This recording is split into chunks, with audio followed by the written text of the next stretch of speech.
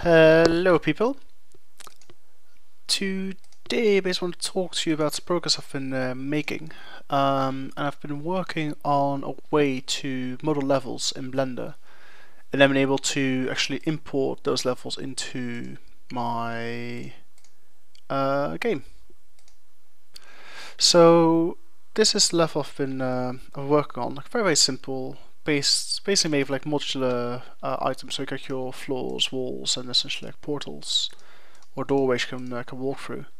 So it's, it's, a very simple level. There's nothing too intricate about it, but just here to provide like a an example uh, of a level I want to import into my game engine and see how it works. So as you know, my game engine essentially runs on it's essentially a portal based engine which means in order to import this level I'll need to slice it up into different uh, regions and then have these regions being connected through portals. So when the camera is like looking at a portal inside a region, you can actually see the region on the opposite side of the of the portal, and it's like a recursive process, so you can see multiple regions through multiple portals. Um, that's basically what happens, and you can basically see this live video like 14, 13 uh, where basically you have like a, a flat of like a thousand stories. Uh, but whilst also like a single floor, only to render that particular floor, and all the floors that may be visible through the uh, through a stairwell. So this is the level I'm working on. Um, I've created like a few shortcuts just for now. Um, I mean, essentially what I can do is model the level, and essentially everything else will simply be um, figured out through like some algorithms. So creating um, so it's like convex um, regions, basically create portals where necessary and that kind of stuff. Uh, for now, I basically did this myself. So I basically got vertex groups which uh, divides the all the vertices into different sections. Now you have update, not now. Um, so section one, section two, section three, well, etc. So eventually you get the idea. So all these sections will basically demarcate like which vertices are part of which sections, and there's no overlap. Now in order to add the vectors, I again this manually by essentially creating adding like a few planes into the, uh, the level. So all these green uh, planes are portals. Um, I mean for now, only thing I need to do is like these planes need to have like portal in the name, and that's like enough. Basically, then figure like well which regions are part of like this particular are connected through this portal. So in this case, for this particular portal, um, I'm not sure which region, I think region 4, nope, 5 and 8 maybe? Nope, 9, nope. Oh well, anyways, you get the idea. Um, yeah, so this is being exported through using basically a custom export I've written in Python called the export for portal level format format, it should be. uh, so it's like a PLF file, which will basically give a list of all the vertices, give a list of all the sec uh, sections per section, which vertices are part of it. Um, also gives information about the uh, UV mapping, um, normals, all that kind of stuff. And then there's like a basically a whole set of portals, which will basically tell you which regions are uh, linked through that portal, and essentially like all the points which comprise the polygon, which is the portal. Um, so one other quick note, uh, at the moment I force that like uh, every mesh only uses a single uh, single image, a single texture. So in this case I basically created an atlas texture which basically contains texture for the, for the walls, the floors, some cementy stuff for the um, I say for the uh, for the doorwells, and then like some carpet stuff for the uh, for the staircases. It's nothing too fancy, but you know, just to uh, get some idea of how this uh, would work. So let's go to the actual game engine. So first time we could see guys see some of the code here.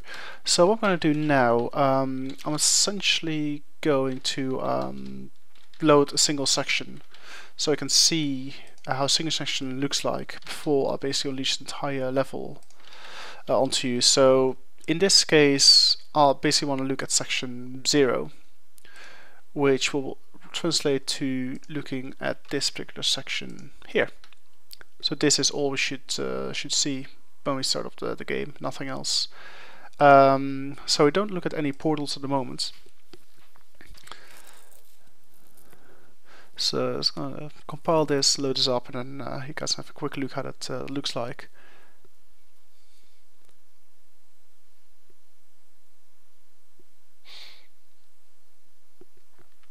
Bum, bum, bum, taking sweet time.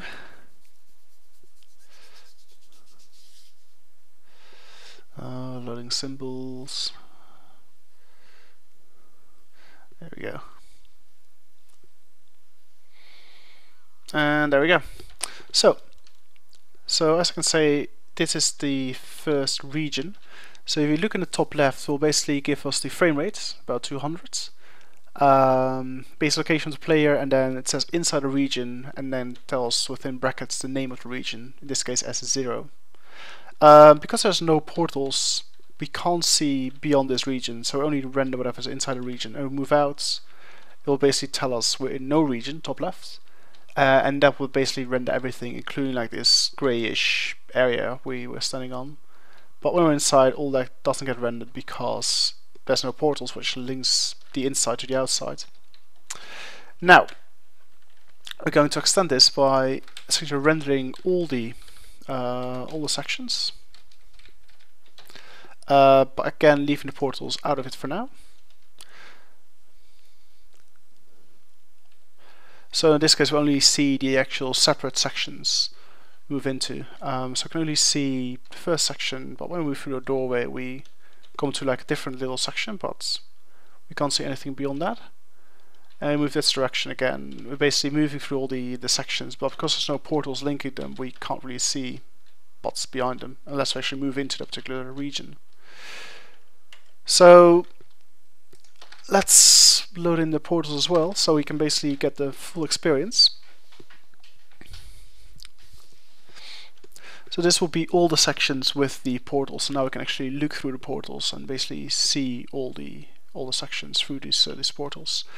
So as you can see here, you can now look through the sections, and because a recursive process, we can see multiple regions if the view frustum we look from from the camera intersects in a new region with different portals, basically updates it until either you hit the um, you know, either there's no more portals you can look through, or if you basically hit like the the back face of the uh, view frustum.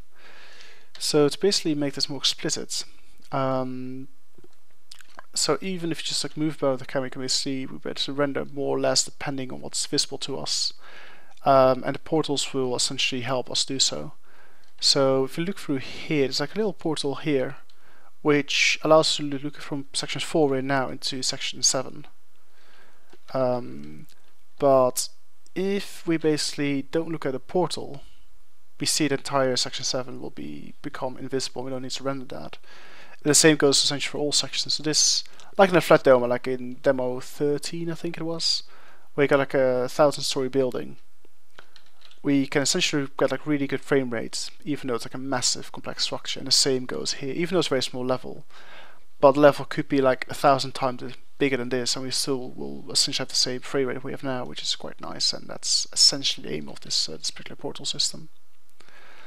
Um, there's a few few bugs, so as you can see here, there's like the normals here aren't particularly the what they should be. So it's a bit dodgy. I think here, like one of the normal spaces faces the wrong direction, so we can actually look into the into nothingness. Uh, and I need to add, I say, um, collision detection. I mean, collision detection is in the game engine. It's just not part of the. Um, well, it's not part of the level design yet, which I need to uh, need to change. Um, so yeah, I can basically walk through through walls, and that's not really what you what you want.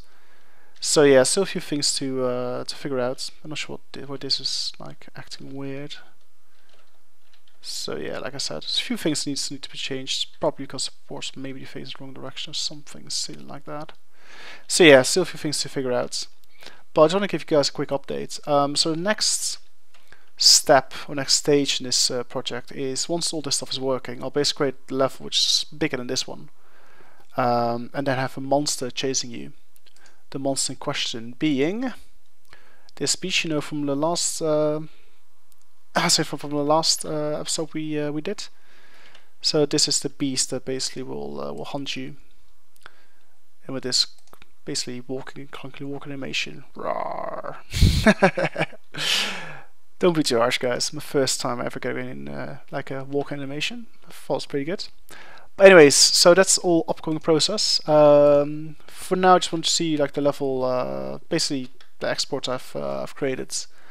Um, so yeah, so after like these bugs have been ironed out, I'll create a pathfinding algorithm using nav uh, mesh-based navigation, um, and then if monster chase you, and that will be essentially like a second game demo I'll uh, create, and I'll like here's what happens.